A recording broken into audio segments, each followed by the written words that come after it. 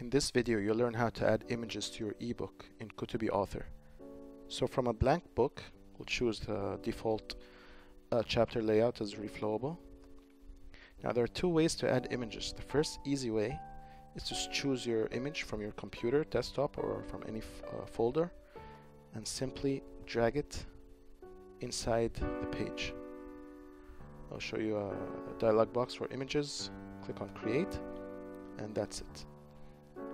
In the case of uh, fixed layout, let's add a fixed layout chapter.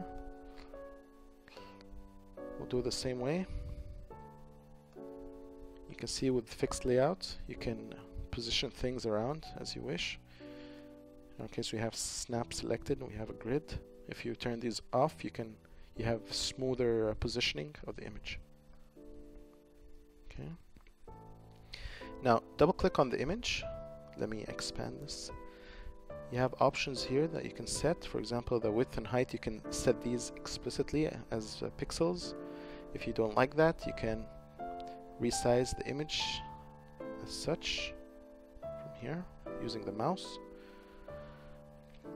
Now text wrap is something important in reflowable layout. Now as we mentioned in another video, uh, layouts in uh, reflowable chapters is a bit tricky because uh, things are linear and uh, you, you, can't easily uh, overlap uh, or stack elements on top of each other.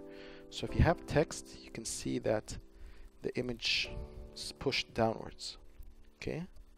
Now by default, the image consumes a whole line so no text can come around the image now uh, most times you'd want text to wrap around the image. So if you double click on the image and text wrap you can select to push left or push push right.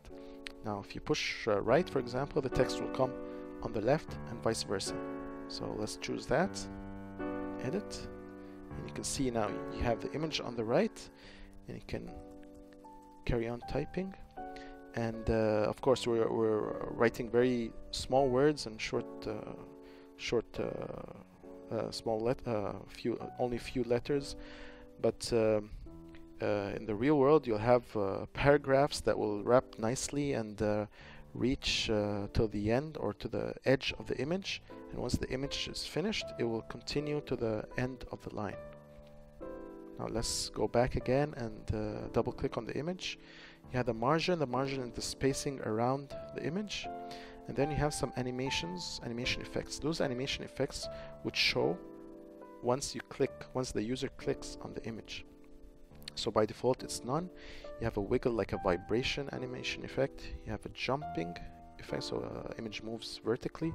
You have a scale which uh, makes the image scale uh, zooms in and out. So we'll choose wiggle just as an example.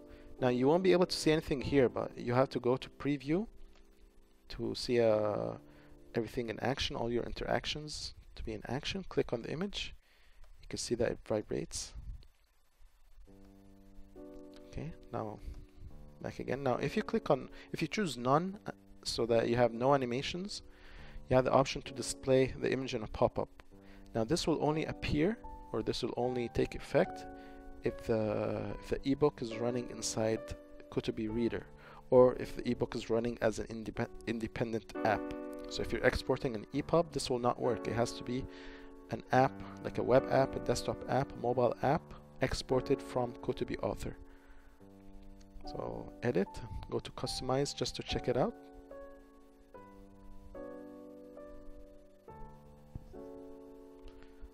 And click on it, and there you have